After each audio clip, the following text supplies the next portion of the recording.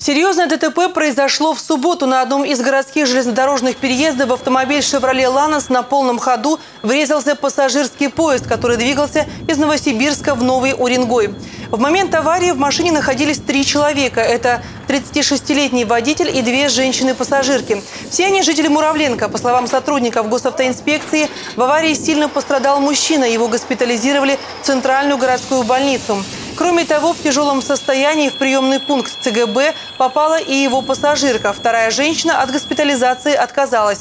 По предварительным данным, причиной ДТП стало нарушение правил дорожного движения. И, как стало известно по результатам экспертизы, водитель автомобиля был трезв.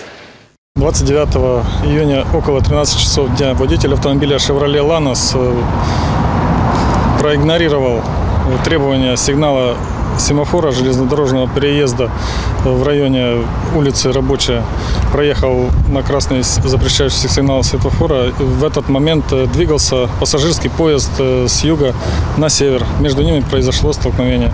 В результате ДТП пострадало три человека. Водителю автомобиля назначено амбулаторное лечение, два его пассажира были госпитализированы. А сегодня рано утром на перекрестке улиц Холмогорская Мира водитель БМВ врезался в столб. Обстоятельства происшествия пока не ясны, официальных комментариев нет, но известно, что в аварии никто не пострадал. Ходят слухи, что водитель иномарки находился в состоянии алкогольного опьянения, но, повторюсь, официального подтверждения этой информации пока нет.